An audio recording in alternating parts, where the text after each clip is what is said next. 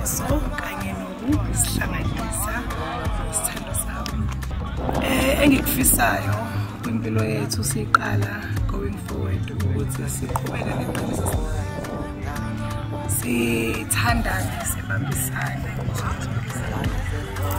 Sikhulume kuwo konke kukuhle kokubi. Eh, and most of all thank you for choosing me to be your lovely wife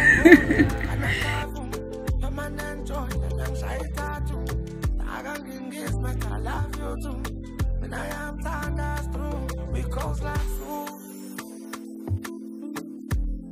I bet I know what that young fuck is straight with. Wish I could send me daddy mini rides with. Galaxy. Makawa keshi dalang digi daji. Nkosa man, ebanzi dali akpila man. Batu ne kumwa giboni.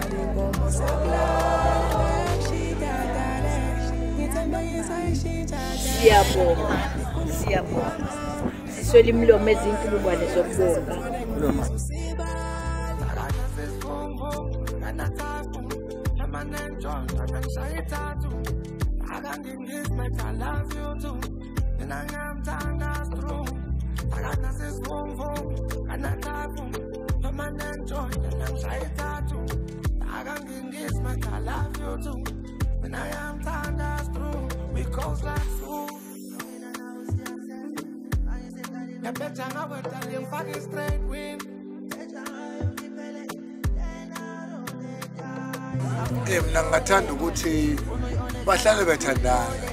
And bangakhombisi ukuthi mase belobolene be kanjani noma sebeshadene ukuthi babe omunye abe serious as a petty horse. Ukuthi umuntu asakwazi manje ukuthi ahambe nomngani wakhe ade vele naye ngoba leyo iyalibulala uthando eh badedelana even babehamba hambe ndawonye nasebusuku nanini umuntu amtshele omunye ukuthi i love you. Uma utshelwa yithi sitshela abantu basenkandla thina-ke uthando siqale late. Kodwa lelo uthando lwabo mina ngibonela uluhle kakhulu engathi ngaphambili engwadlulisa emndenini wami eh kubangani bami kuma colleagues ami komakhelwane bami zihlobo. Hey angazi maphethelo wonke. Yo ngiyabonga ngiyabonga guys. Ningisingathile uthando lwenu nilitshengisile kakhulu. Angazi ngathini ngifise ngathi uNkulunkulu enganandisela kuwo konke la nithathe khona. Uhambe nilihambele ukufika endaweni yangakithi emantobelo endwedwe. Kukude. So ngiyabonga upetrol benu isikhathi senu uthando lwenu. Most of all ngiyabonga.